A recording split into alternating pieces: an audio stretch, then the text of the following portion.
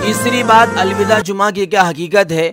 तो इस सिलसिले के अंदर मैं आपको ये बात कहना चाहूँगा कि किसी भी हदीस के अंदर इसका सबूत नहीं है। यानी अलविदा जुमा हदीस से साबित नहीं है। और जो चीज़ हदीस से साबित ना हो और अपने मन से उसको इबादत समझ के करना, ये बिदत हो जाती है। इसलिए बिदत हो जाएगी।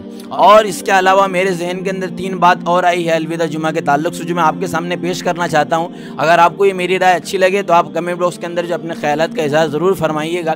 सबसे पहली बात मेरे जहन के अंदर ये आई है कि तीन एतबार से लोग उसको अलविदा जुमा कह सकते हैं। लेकिन तीनों एतबार से ये रमज़ान का आखिरी जुमा अलविदा जुमा नहीं बन सकता। सबसे पहली बात यह है कि पूरी दुनिया के ख़त्म होने के एतबार से उसको अलविदा जुमा कहा जा रहा हो। लेकिन ऐसा तो नहीं है, क्योंकि इस रमज़ान के बाद भी दुनिया तो बाकी रहने वाली है, दुनिया ख़त्म होने वाली नहीं है। क्या किसी को मालूम है कि इस रमज़ान के आखिरी जुमे के बाद दुनिया ख़त्म हो जाएगी? जब दुनिया बाकी रहने वाली तो मालूम पड़ा कि ये रमज़ान दुनिया का आखिरी रमज़ान नहीं हुआ। इसके बाद भी रमज़ान आने वाला है। जब रमज़ान आने वाला है, इसके बाद भी तो ये अलविदा जुमा नहीं हुआ। पहली राय ये मेरे जहन में।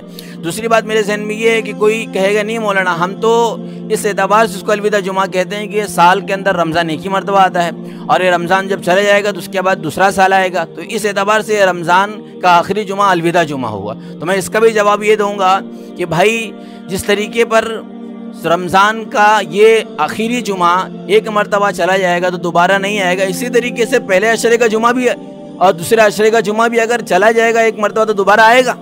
दोबारा नहीं आएगा। फिर फिर काहे को सिर्फ़ इसी को अलविदा कहा जा रहा है आखिरी जुमे को? पहले अशरे के जुमे को अलविदा जुमा कहना चाहिए और दूसरे अशरे के जुमे को भी इस एतबार से अलविदा जुमा कहना चाहिए। मालूम पड़ा कि अलविदा जुमा कोई चीज़ नहीं है। हर जुमा रमज़ान का अलविदा जुमा है। और अगर फिर तीसरे नंबर पर कोई ये कहे, तीसरी राय मेरे जहन में ये, कोई ये कहे कि नहीं, हम तो इस एतबार से उसको अलविदा जुमा कहते हैं कि हमारी ज़िंदगी का ये आखिरी जुमा है। हमको नहीं मालूम कि उसके बाद का रमज़ान हमको मिलेगा कि नहीं मिलेगा। तो मैं इन लोगों को ये जवाब दूँगा, अरे भाई, ये रमज़ान का आखिरी जुमे के बात नहीं है सिर्फ़, बल्कि इसका ताल्लुक, आपकी ज़िंदगी का ताल्लुक तो पूरे साल के जुमे के साथ है। क्योंकि आपको तो यही नहीं मालूम कि इस जुमा के बाद मेरी ज़िंदगी रह सकेगी कि नहीं रह सकेगी। क्या आपको मालूम था कि पहले अशरे के जुमे के बाद आपकी ज़िंदगी रह सकती है, यानी आप ज़िंदा रहेंगे कि नहीं ज़िंदा रहेंगे? क्या दूसरे अशरे के जुमे के बाद आपको यकीन था? या उसके अलावा, रमज़ान के अलावा भी जो जुमा आप पढ़ते हैं, क्या उसके बाद आपको मालूम रहता है कि इसके बाद वाले जुमा में ज़िंदा रहने वाला हूँ?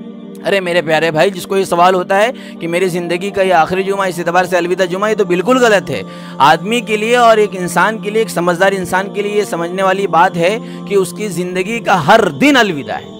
उसकी ज़िंदगी का एक दिन जो चला गया, दोबारा नहीं आने वाला है। दोस्तों, ये तो समझने वाली बात थी, जो समझदारों को समझ में आएगी। अल्लाह ताला हम तमाम को समझने की तोफ़ी अता फरमाए। ये मैंने मुख्तसर वक्त के अंदर